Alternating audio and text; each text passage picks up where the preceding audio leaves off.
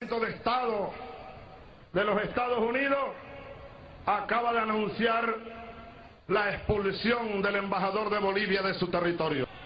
Son las 7 y 15 minutos.